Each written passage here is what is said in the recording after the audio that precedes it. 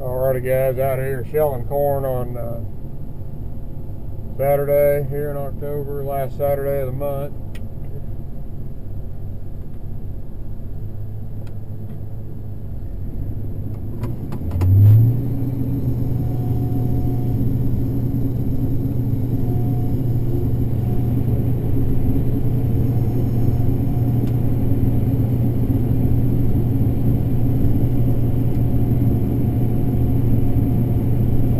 A limiting factor of some things. Uh, something we've had a problem with this year is such a dry June and July.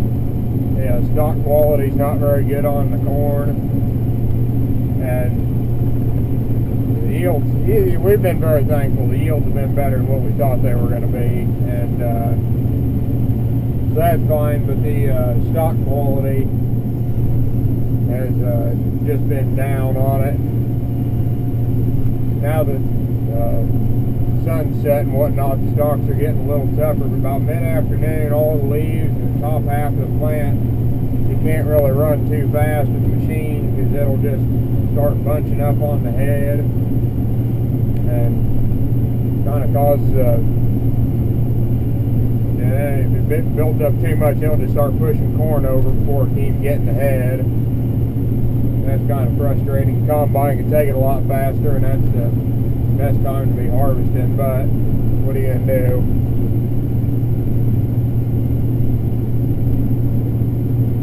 Limiting factor this summer on the corn, which is that I call it fluff. Just all the fluff builds up on the uh, non-corn head. Limiting factor this year is definitely water. It wasn't lack of fertilizer or anything. It was just uh, lack of water. And that's usually, that's really kind of what sets apart different soil types and everything else on how they produce in a given year. It's just the amount of rainfall they get. Like this field here is just lighter timber soil and it doesn't hold water as well and that doesn't look quite as good as the, you know, the fields got more black dirt and everything. And, uh, drowns out more. But if you don't if you don't have pit tile in it, but they hold water a lot better too.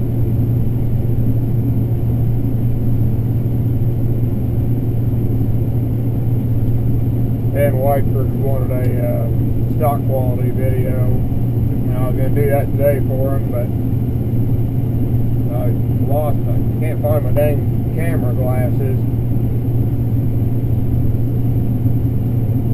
about a week ago, and I uploaded the bean video with them, the final bean video, and can't figure out what happened to them after that. So.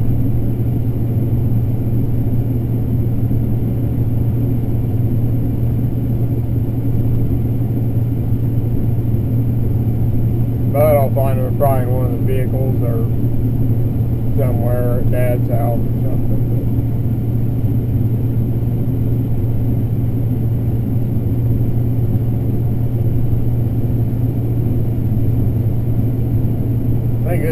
DeKalb number one right here, and it's standing a little better than the Whipple's was, which is on the other side of the land. And I can run a little faster it, and now we got a full bend.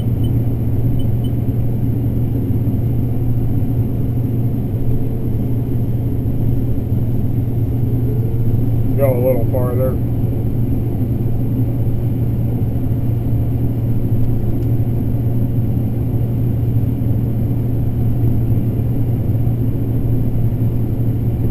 I got a few snow flurries coming now. It's supposed to get down to 30 degrees tonight here in Illinois or east central Illinois. Jeff texted me.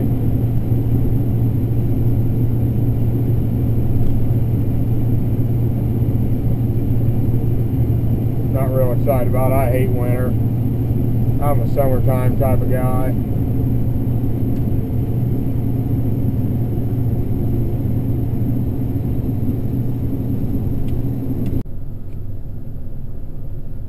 Sorry about that. I stopped for the uh, full bend light and the uh, suction cap fell off the window.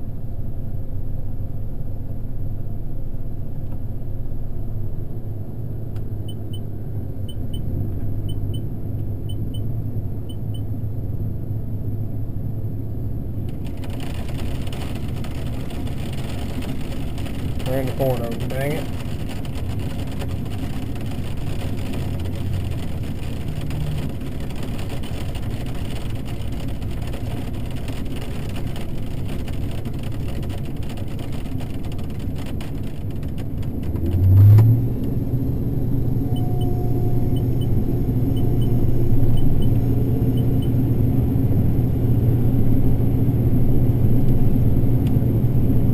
Like a lot came down, but I bet I didn't lose half a bushel there, so don't give me too hard of a time on it.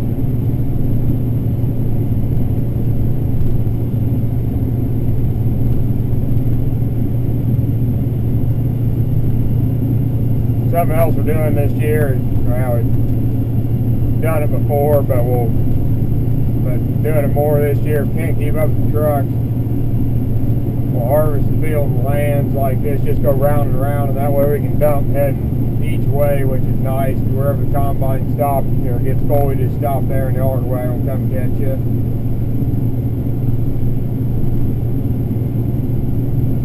Unless I'm pretty close to the end, then I'll drive up just so we get the truck on the way right away again.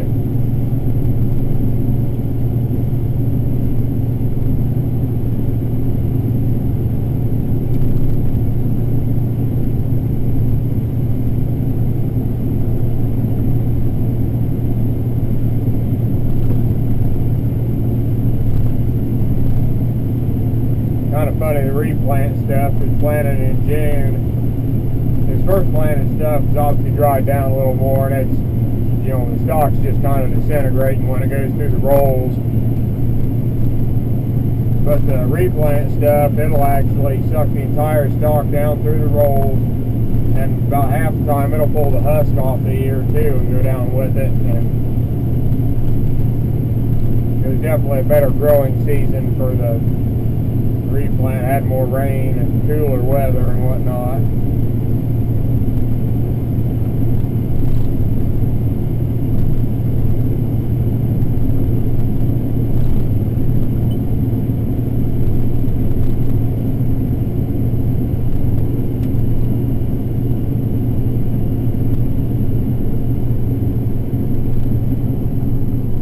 I don't know why I get hand signals in the dark sister can't see me anyways.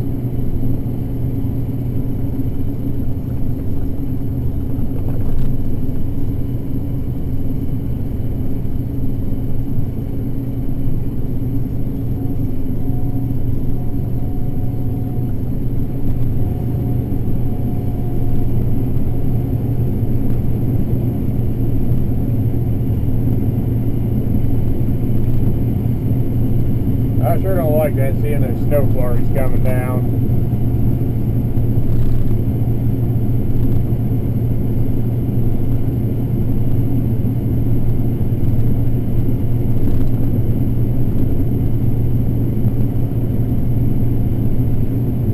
Talk about my skid steer a little more. I uh, got four new tires and put on it. I ended up having to do some more work in it uh, had to put four new seals in the uh, on the axles because the baling twine wrapped around it. I found out when I took the tires off and it just destroyed the seals and there wasn't hardly any grease left in the bearings and two of the bearings had gotten water in them so I had to replace those two bearings.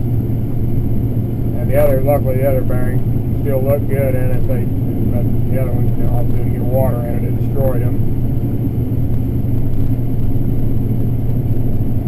So I did that. So I got a little bit of money into it, but I'm still sitting real good on it. But I haven't decided what I want to do with it yet. I used it and moved just a little bit of manure with it. I built a set of manure forks will help it a lot. Oh, and I got a video uh, doing a little bit of work there on this when I had to change cases apart and whatnot. But I'm kind of undecided on what I want to do with it because I, if I sell it, I neither, I still need something of the loader out of my house, whether that's a loader tractor or a skid steer or something.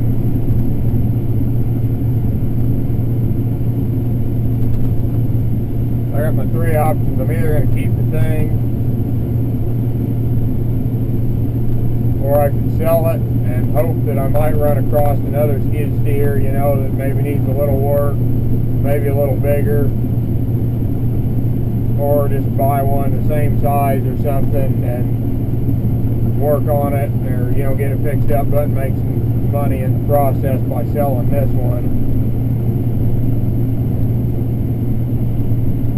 Or my third option is I'm kind of been wanting to get a diesel tractor to make hay with, whether it be like a 15XX Oliver or a 16XX series, you know, something like that size, a little smaller than 1800, but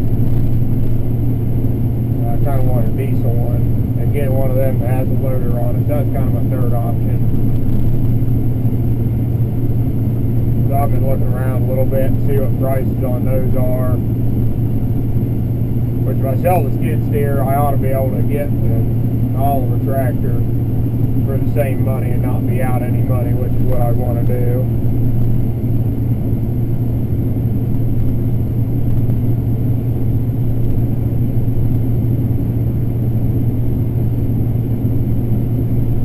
But that's just kind of what I'm thinking on that.